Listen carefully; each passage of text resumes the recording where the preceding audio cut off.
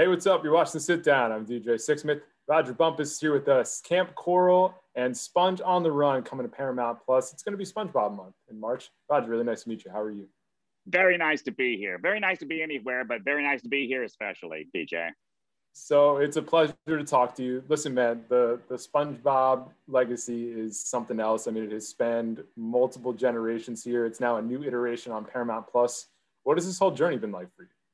It has been the journey of my life. Um, i have been doing uh, acting for nearly 50 years now, and I've been very blessed to be a part of a lot of different things, movies and whatnot. And this is the highest profile and the highest um, legacy type of, of, of project I've, I've, I've, ever been a part of. And I'm exceedingly grateful that, uh, that, that you can just be a part of something that's iconic in American culture. And so I I feel like paying them. Not quite. when do you feel like you got a hold of who Squidward is? How long did that take you? It, it, it's remarkably easy. Um, uh, I they, they gave us a breakdown at the audition, It was just a simple audition, and uh, I saw the breakdown. I saw he had this big honking nose, so I kind of put him in my nose a little bit there, and then he was sarcastic. I can do that easily enough.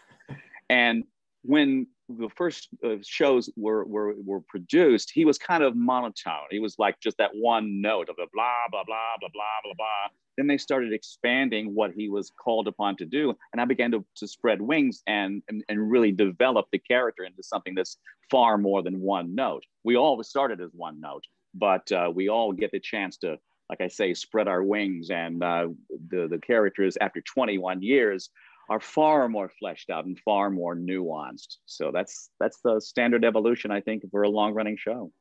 Yeah, I think it's great. You've had the runway to do that, and even with what's coming to Paramount Plus, I mean, you have a movie which is an extended cut. You have the prequel with Kamp Koral. You know, what were some of the most interesting parts about doing those projects?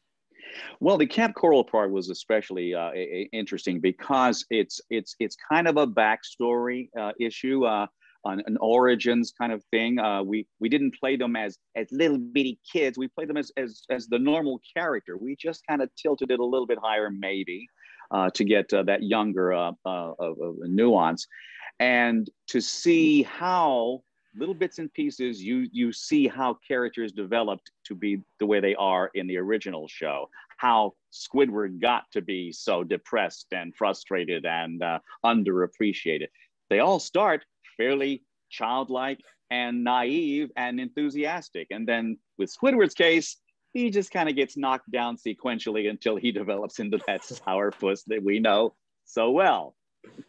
When you think about the 21 year journey that you mentioned, I feel like people have their, their SpongeBob camp, they go to Patrick, they go to Sandy. Like, have you always had that group of fans that has been for Squidward or has it evolved over the years? So fans fans tell me that that of course they always tell each individual uh, of us you know you're our favorite character of course. Of, you know? uh, but uh, there there is an evolution that I see quite often and that when when kids watch the show they identify with SpongeBob of course he's the childlike person the the uh, the, the, the the innocence uh, and the fun loving uh, character and then as the, the, the, the viewer gets to be an adult and they they see what it's like to get that job and to have those bills yep. and to have all those pressures of being an adult, they become Squidward. And I've heard that countless times from the fans. So, uh, and then when you get older, you become SpongeBob again. You know? so, so there's a circle of life thing going on here.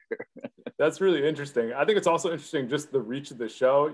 Talking to some of the other cast members, it's been in, they've been in foreign countries, and SpongeBob has been recognized there. Do you have a story of just somewhere super random where either your voice has been recognized, or you've seen SpongeBob, or something that pops to mind?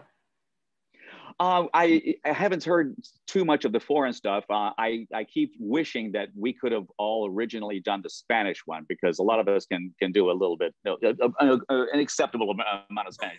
I, I couldn't have done Swedish or German or anything like that, you know.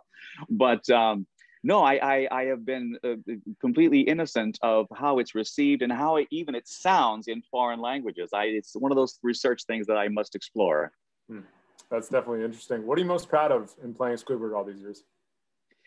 I guess being it's not really being proud, but being thankful uh, uh, to be a part of something that has a legacy like this, that that is legitimately a, a, a part, an iconic part of American pop culture, uh, like like Looney Tunes uh, or like Disney. uh, to be a, to be have a part in that at all is something long lasting. And and and as I've said before, it's it's there's a responsibility. You you, you in public, you can't be a jerk. Hmm. You know, you can't you can't allow yourself to just go off on someone and then they find out that you're Squidward and then that just that just disgraces your character and then and you you just don't want that. So um, I'm on my best behavior with people and and I just love people's response throughout all the years. They they really appreciate us. People have come to us constantly at Comic Cons and say that they want to thank us for their childhood. We chaperoned them through their childhood, wow. and that to to be a to be a steward of that type of uh, iconic uh, character and show is something that I take very seriously, and and I'm very grateful for. Amazing story. You do a great job with it. Rodger, really nice to meet you, man. Best Thank luck with everything going forward, right? All right, Kai DJ. Thanks a lot, man. Have a great day.